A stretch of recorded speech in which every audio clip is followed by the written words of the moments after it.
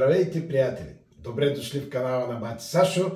Днеска ще ви покажа една чудно вкусна есенна рецепта. Печен карфиол в тавичка, отгоре с доматчета, шунчица, пушено месо, каквото намерите и кашкавалец. Карфиола се готви по най-различни начини, чудесен е, вкусен е, но не всички хора го предпочитат заради неговия лек привкус на зелето. Сега, приятели, какво трябва да направим за тази рецепта? Тя не е сложна, но па се изисква малко внимание, за да не се порежем с острия нож. Карфиола е голям, може да вземете и по-малки, зависи. Аз такъв намерих. Хубав, пресен, да няма сиво и черно вътре. Какво правим за нашата хубава рецепта? Ще направим една паржола от карфиол, така образно казано. Ще отрежем карфиола като дръвче, напречен разрез и се надявам да успея да се справя. Взел съм най-големия си нож. Такъв трябва да, да ползвате и вие, за да може да... А, добре се получи. Да се отрежи ето по този начин. Виждате, това е едно дърво даже до някъде пък може да се ни заприлича и на човешки мозък. Той много помага за мозъка карфиола и въобще за сърдечно-съдовите заболявания. Сега, ето го какво представлява нашия разрез на карфиола. Трябва да отрежем около сантиметър и половина едно парче, като внимаваме да е добър разреза, не бива да бързаме и да напритеснява, че отстрани се ронят малки парченца. Така е, ронлив е, защото той такава му е структурата. Иначе казахме от вида на зелето с а, а, останалите видове зеле, като прикселското, той е много полезен. Преди всичко с витамини С, B1 и B2. Също а, витамин К много помага за костната структура. Сега, приятели, взимаме го това карфиолче. Дали може да... Дали едно само ще се събере? А, може би... Може би ще станат две. Ще опитам да, да отрежа още едно.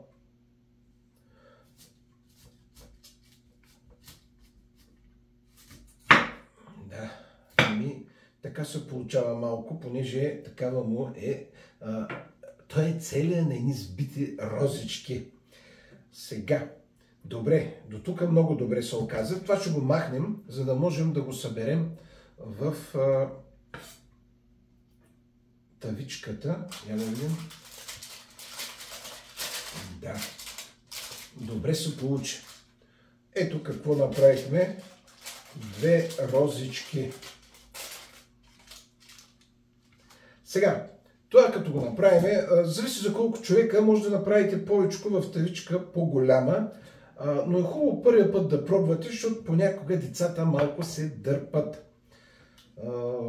Стана малко сложно, понеже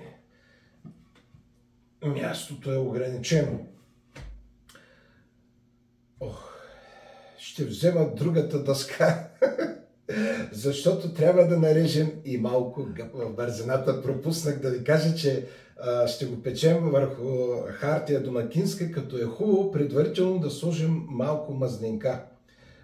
Аз го сложих, обаче просто пропуснах, приятели. Мислих си за ползите от карфиола, които никак не са малко и исках да ви запозная с тях. Да, ама се обърква човек. Затова да наблегнем на рецептата.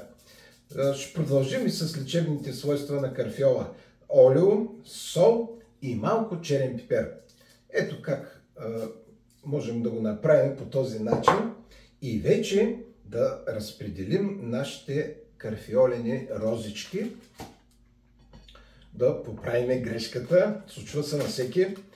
Особено когато човек е, се замисля и за други неща, които мисля, че са много важни защото наистина карфиола е много полезен.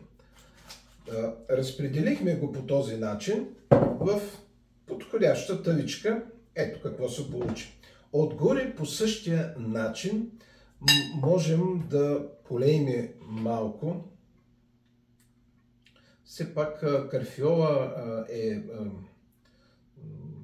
постен, как да кажа, той е беден на калории и може би затова се използва и като а, средство против, а, за, за отслабване, против а, килограми, който иска да редуцира теглото си, може да хапва карфиол. Карфиол се готви по различни начини. Задушава се, като гарнитура се предлага, може да бъде печен, може да се направи супа от карфиол, да се пасира. Има различни варианти. Като цяло е застъпан в цялата световна кухня, но най-много се използва в Европа и в Америка. По-скоро най- най-много се отглежда в тези страни. Иначе за използването е различно навсякъде по принцип в света и се използва карфиолът. Сега, когато го направихме по този начин, остава да сложим и другите съставки. Аз мисля, че пропуснах да кажа доматчета, пушено месо, кашкавал отгоре и може да сложим и гъбка, защо не. Наред с, казахме, много свойства има карфиола върху човешкото здраве, има изследвания, които казват, че много помага против рак. Тоест, забавя растежа на раковите клетки, което е много важно. Гъбките ги нарязваме на дребно. А, също за какво помага друго карфиола? Помага за храносмилателния тракт. Това също е важно да се знае. Той просто съдържа толкова много вещества, полезни, и като цяло действа на, цялата, на целия организъм. За сърдечно-съдовата система казах, на мозъка също помага против Алцхаймер и други такива заболявания. Помага и при възпаляване, при различни възпалявания в организма, които знаете понякога се получават, има добро, добро действие. За, за витамин К мисля, че казах. И въобще хубаво е да се хапва карфиол. Сега да добавя, не знам дали не пропуснах, във Варна го наричаме карнабит, а в Добружа конопида. Но като цяло е познат като карфиол. Ох, аз ще да се порежа.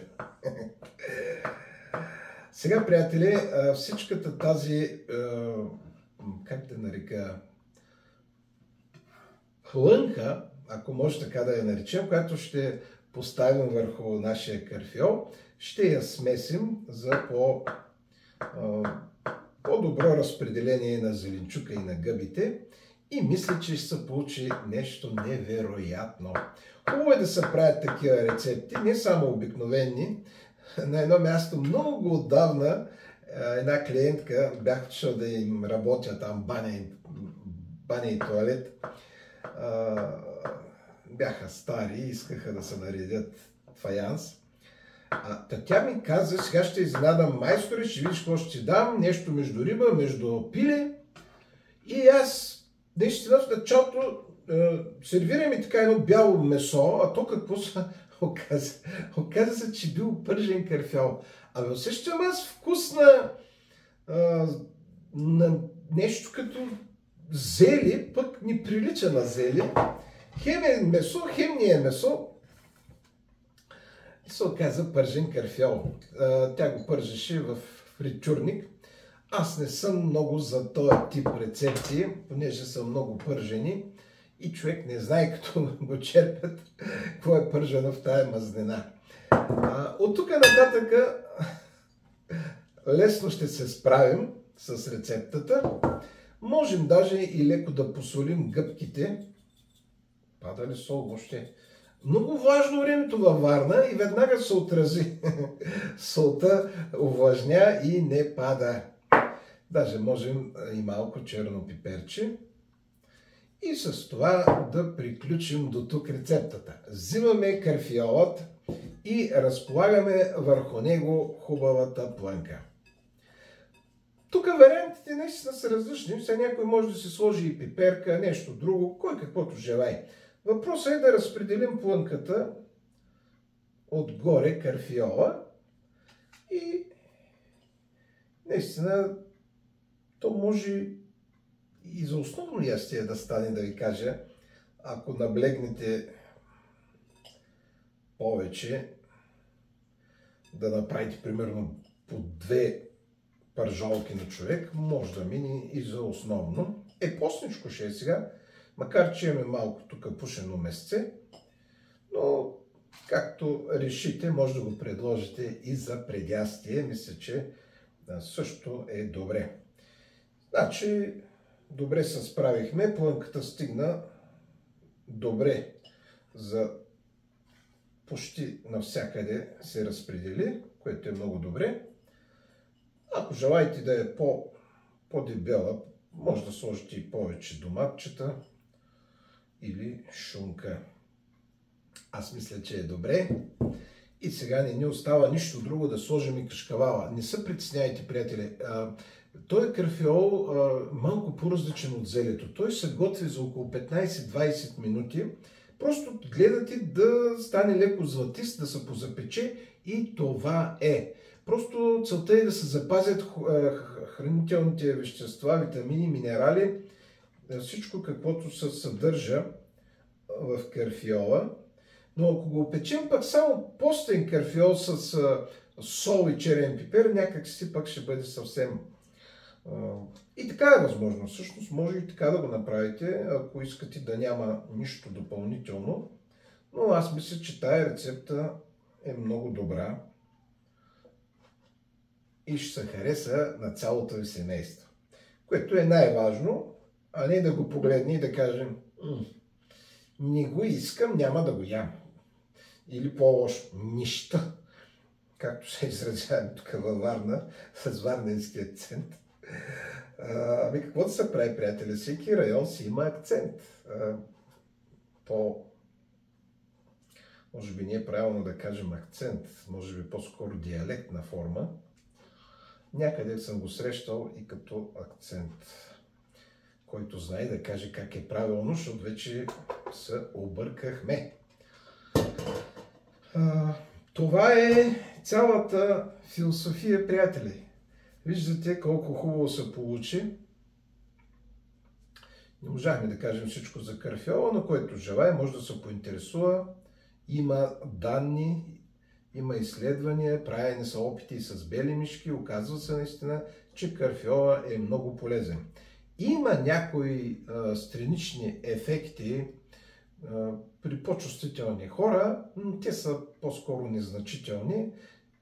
В голямата си част карфиола е едно чудесно а, ястие, как да кажа, от него може да се получат чудесни ястия, хубав вкусен зеленчук. Цената в момента е 2 лева, беше около 4,50, но падна, казахме есента. Има повече в момента и цената малко слезе надолу. Иначе на 5 лева близо беше наистина много скъп и не вървеше по магазините. Хората така само го поглеждаха и изчакваха цената. Слагаме го на 200-220 градуса по-силна фурна за предварително загрята, да може да, да го поеме за около 20 на минути би трябвало да е готово. Следете го, като се появи отгоре хубав запечен вид външен, трябва да е готово, той ще замираше и на чудесно, така че, приятели, ще се видим само след около 20 на Забележете какво се получи. Нещо невероятно, уха е страхотно. Сега ще видим и на вкус как съм се справил с солта и пипера, дали не съм пресолил. Мисля, че ще бъде нормално. А, опечен е, да. По-скоро задушено печен. Малко е горещ, дано да не се изгоря. Плънката ще пробвам. Може да изчакате 5-10 минути, като го сервирате, защото отдолу ври. Може да се сервира и с хляб. Няма проблеми. Но който желая да отслабва, да намали малко белия хляб.